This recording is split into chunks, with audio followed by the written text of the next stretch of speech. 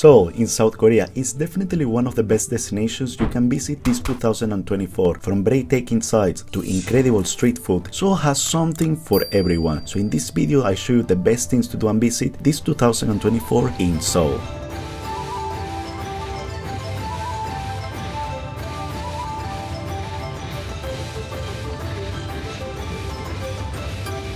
Start your Seoul adventure at the Gyeongbokgung Palace, a magnificent royal palace that dates back to 1395, showcasing the country's rich cultural heritage. In here you can marvel at the grand architecture and intricate details of this historic site. In here, you can also enjoy the daily changing of the guard, a tradition dating back to the Joseon dynasty. You witness the precision and skill of the guards as they carry out their duties with grace. The price to enter to the Gyeongbokgung Palace it is of only 3000 won, that it translates to roughly 3 US dollars.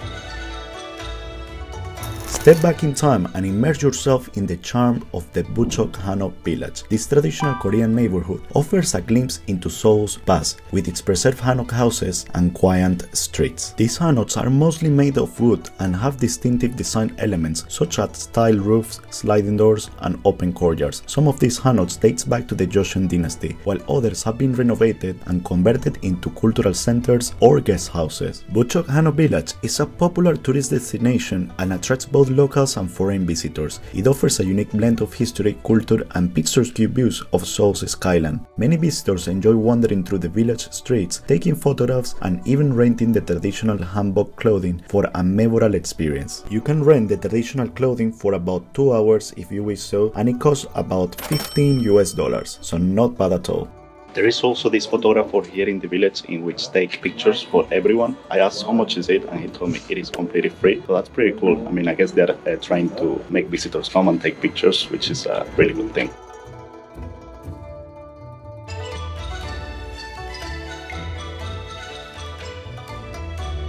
Another must visit in Seoul is definitely the Changdeokgung Palace, which is a UNESCO World Heritage Site renowned for its fusion of natural beauty and architectural brilliance. This is a palace that dates back to 1412 and it served as the primary palace for many Joseon kings and became the official royal residence after the destruction of the Gyeongbokgung Palace during the Japanese invasions of Korea on the late 16th century.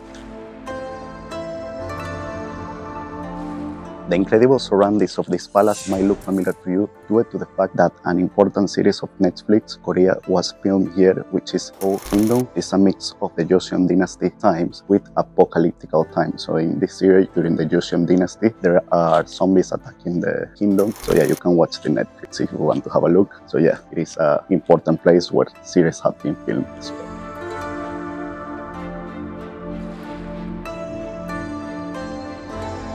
Another must visit when coming to Seoul is definitely the Starfield Library, which is located at the COEX Mall, and it offers a range of 50,000 plus books from all over the world and in different languages, plus 400 types of magazines from economics, politics, hobbies, depending what you're looking for, and it has spaces to relax all over the place. And also you got a coffee shop here, so if you want to enjoy your favorite books and have a nice and relaxed time here at the Starfield Library, definitely must visit. It is important to note that it's free entry, so you don't have to pay for anything. Either you come daytime or nighttime. It's really beautiful. At the nighttime, they put some lights, which make the books even more outstanding when looking at them. So I just double check, and it's actually free to read any book. So you can take any book, magazine, or whatever you want. Obviously, you cannot take them home. So if you want to read anything, you must read it in here. You could spend a whole day here reading your favorite books. And you got here also iPads. So if you like any electronic book, you got also iPads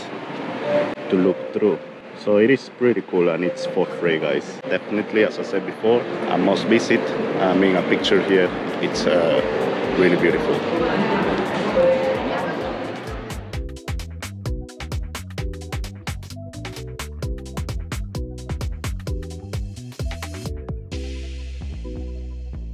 And apart from the Starfield Library, we also got here in the COEX Mall this interesting sculpture here behind me is the famous sculpture of the PSY Gangnam style hands, which became viral back in 2012 and was the first video on YouTube to reach over 3 billion views. Do you know how to do it? You got even here the overview of how to do it. It was installed back in 2016 and if you want to dance you can even put the video here. Oppa Gangnam Style. So yeah, come and try your Oppa Gangnam Style skills here at the sculpture here in Gangnam, which was named obviously the song because of this famous district here in Seoul.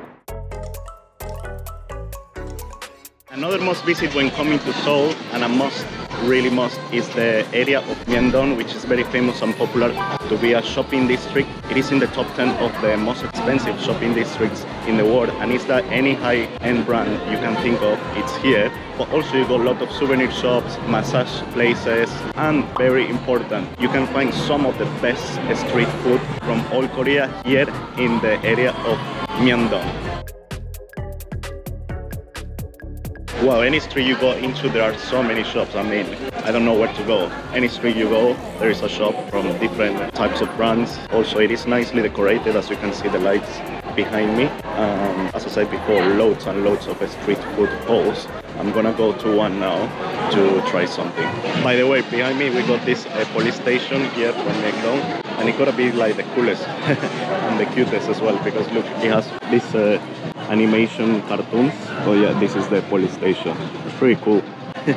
so one popular Korean dish from the street food is this bread with an egg on top. What's the name of this? Erampa. The price is 2001, so yeah, not bad at all. Really nice. So it's called erampa and it's Korean bread with an egg on top. So yeah, let's try it.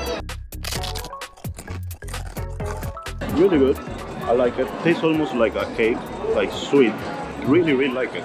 I will choose this as a dessert actually, good for a start. So another thing to try and a must try is the traditional barbecue pork skewer here. The price is 8,000 and they made just right here with this fire on the grill. Really good. No way to try it, looks delicious.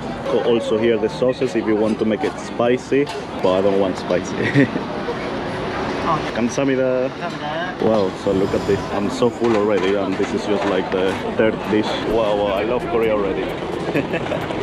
so let's try it. So good. So, so, so good. Mm. I love it. I love it. I will eat this all day long. So look, this is what is left from that uh, barbecue pork skewer. One of my favorites so far. really, really good. Let's see what else we try here. It's important to note that Koreans, they keep innovating. Every time there's like a new dish or something that comes up in social media and becomes very viral. An example of this is something called croffle, which is basically a croissant and a waffle will have a sun. So it's called croffle. So very crunchy on the outside and moist in the inside. I'm gonna try now. I have heard so many good things about it. So let's try the croffle. New taste for me. I thought it would taste more like a croissant, but yeah, it actually tastes like a mix of waffle and, and croissant. I don't know, it's difficult to explain, but it's really good. but definitely a must try. I love it. Wow, some stalls they get really really busy. This is the queue to, to eat uh, Korean chicken, the traditional Korean chicken with this delicious sauce. I cannot wait to try it. So finally the wait is over. I got my crispy and sweet chicken. So yeah, I guess this is like a very very popular street food. You can see why. It smells delicious. Delicious. So good. So crispy, sweet, a little bit spicy, but not a lot. Mm. I love it. It does come in different sizes. I took the small size because I'm really full. It cost me 7,000 won. You can get even the biggest one, which is 20,000 won. But I think the one for 7,000 won is more than enough. They serve it to you with tteokbokki as a side inside. Like this sort of a crisp. Really, really good. One of my favorites. Interestingly, this is a UNESCO World Heritage Street. Wow, I didn't know this.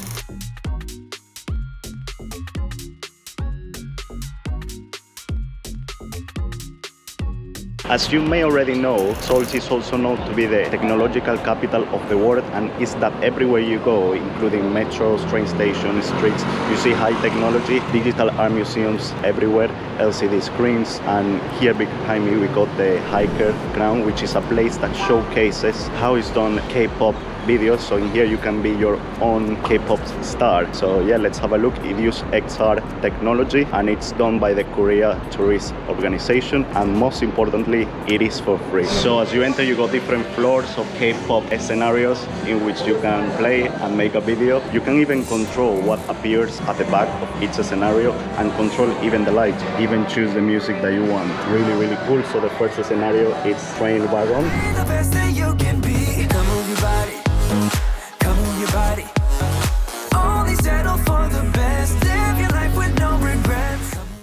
So it's really, really cool. In each scenario, you are the own star of your own film, movie, or music video. So in each stage, you can control the music, the colors, the speed of the lights, everything. Really, really worth the experience. I highly recommend. The HiKR Ground here in Seoul.